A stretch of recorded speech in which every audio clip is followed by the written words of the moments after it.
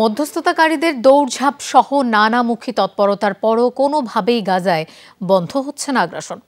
মাত্র একটি ফোন কলে দেশব্যাপী হোম ডেলিভারি দিচ্ছে ওমেরা এলপিজি শত্রু মিত্র সবার প্রচেষ্টাকেই বুড়ো আঙ্গুল দেখিয়ে ফিলিস্তিনিদের উপর হামলা চালিয়ে যাচ্ছে ইসরায়েল। এমন পরিস্থিতিতে আবারও মধ্যপ্রাচ্য সফরে যাচ্ছেন মার্কিন পররাষ্ট্রমন্ত্রী অ্যান্টনি ব্লিনকেন। উদ্দেশ্য যুদ্ধবিরতি ও বন্দি বিনিময় চুক্তিতে ইসরায়েলের উপর আরও চাপ তৈরি করা। শুক্রবার বিষয়টি নিশ্চিত করে মার্কিন পররাষ্ট্র দফতর। এই দফায় আগামী সপ্তাহে ইসরায়েল, মিশর, জর্ডান ও কাতার সফর করবেন ব্লিনকেন।